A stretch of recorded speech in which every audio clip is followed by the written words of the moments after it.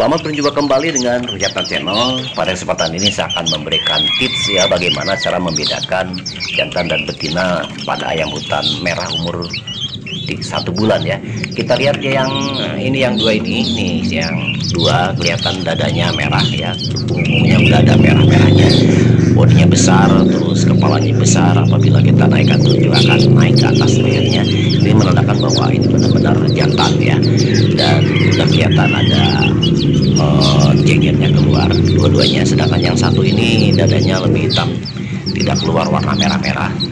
Juga jenggernya kecil bodinya kecil terus uh, agak pendek.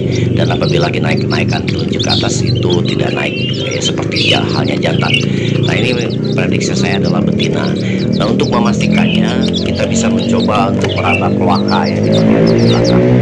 Dekat anus itu ada tulang supit apabila renggang ya biasanya betina dan apabila rapat itu jantan ya ini menandakan uh, bahwa ayam hutan ini adalah jantan dan betina seperti itu ya. Kebanyakan dipegang di tulang supit tapi bisa juga kita lihat di um, bentuk uh, prediksi dari bulu dan bodi seperti ini ya. Mudah-mudahan aja tips ini bermanfaat untuk kita